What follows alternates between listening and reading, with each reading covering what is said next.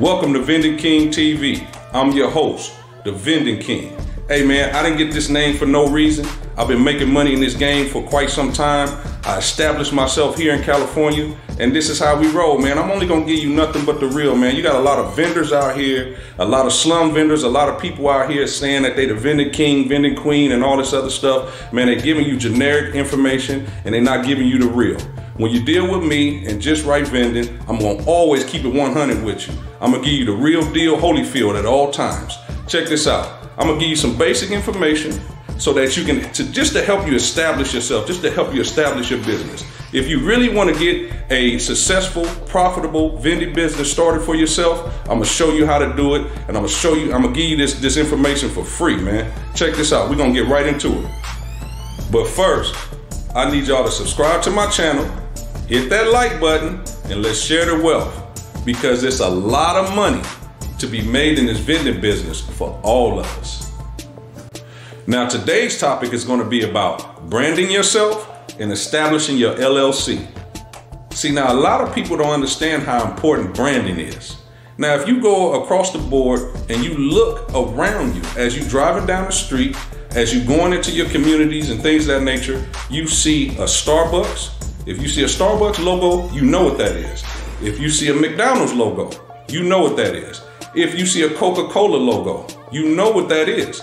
They are all branded. Now, branding yourself really attracts more clientele and it gives you an opportunity to actually boost and market your company and your business.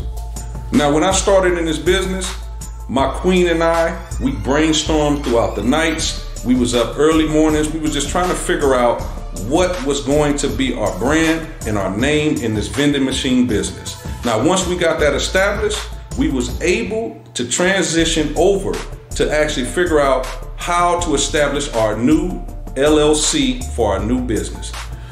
All right, good people, you created your brand for your vending machine business. Now it's time to establish your LLC.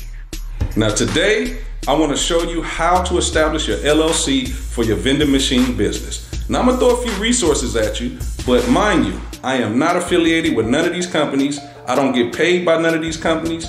These are resources that I provide to people that ask me on how to establish their vending machine business or any other business, whatever, what, what have you. Listen, this is something that is actually going to help your branding and it's actually going to build your business the, the right way and the way that you need it to in order to be successful. Now, here's a few resources with very, very low startup costs to establish your LLC for your vending machine business. ZenBusiness, LegalZoom, Rocket Lawyer, and Swyft Filing. Hey everybody, thanks for tuning in. Remember to subscribe to my channel, hit that like button, and share the wealth, baby. This is how we get out. I hope this video was beneficial to all you guys. If you stick with me, we going to get to the promised land. It's enough money to be made in this vending machine business for all of us. We're going to share the wealth. We're going to give nothing but positive energy and good vibes over here, baby. The Vending King, we're out. See you. Peace.